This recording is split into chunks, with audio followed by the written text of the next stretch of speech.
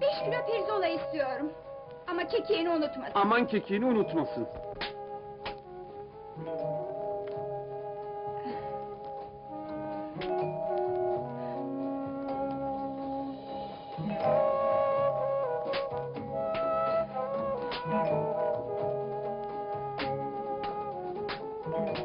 Nuri Beyciğim, hesabı yarın veririm olmaz mı? Aman efendim lafı mı olur? Dükkan sizin. Her zaman emrinizdeyim. Hatta buraya gelmenize bile lüzum yok.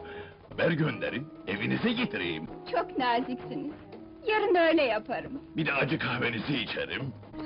Mersi Nuri Beyciğim. Afiyet şeker olsun. güle güle Nuri Bey. ya. Ay. Sana danalar, kuzular, koyunlar, analar, babalar kurban olsun ama kekikli olsun. Ah. Ay. Tövbe tövbe kendimi kaptırdım. Uhu Nuriş. Nuriş bak kim geldi. Bak kim geldi Nuriş. Uhu.